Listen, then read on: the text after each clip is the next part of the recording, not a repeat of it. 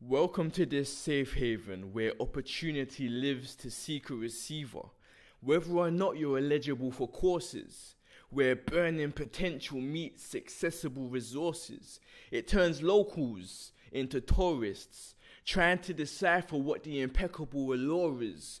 The glass doors are open arms for those with an allergic reaction to a career full of rules welcoming creatives into this spaceship, transporting extraterrestrials inside the vast artistic universe where shining stars align the red interior walls. A reminder to the stars in the making when creating.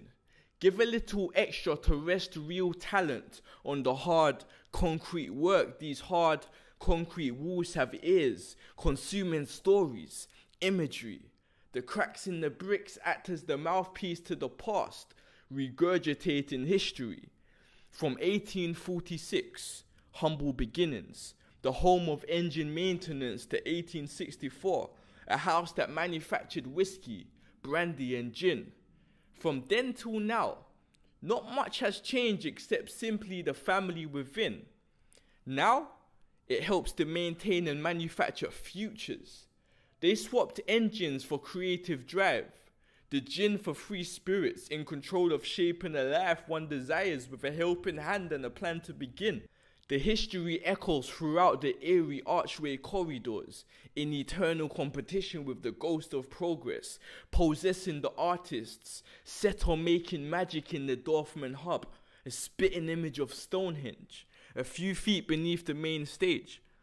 It's clear good art isn't site specific, doesn't need any type of gimmicks. Sky's the limit to our comfort zones, where imagination meets curiosity, breaking through, revealing one man's ceiling is another man's floor. From rehearsing in the claw, wishing to reach the transition where a ground level emerging artist crosses over to the main attraction the only difference is a few thousand supporters and three flights of stairs, reminding me I'll get there one step at a time. the irony. Stephenson, Robert Dockray, two men I would like to honor.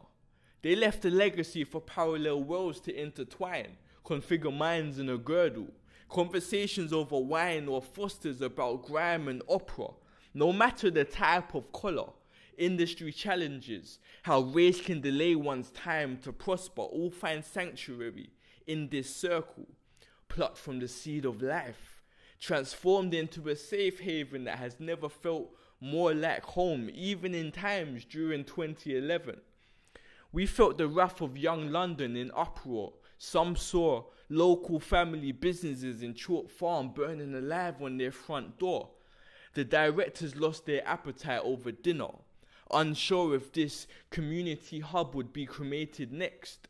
Blind to the fact a unanimous decision to spare the roundhouse was being sent in messages on WhatsApp and relayed in text. This is a safe haven where opportunity lives to seek a receiver, whether or not you're eligible for courses, where burning potential meets accessible resources. It turns locals into tourists, trying to decipher what the impeccable allure is. The roundhouse is a second home to many, whether experienced in your craft or only at the start. Every successful project is a thank you to the visionaries who keep this building open for the arts.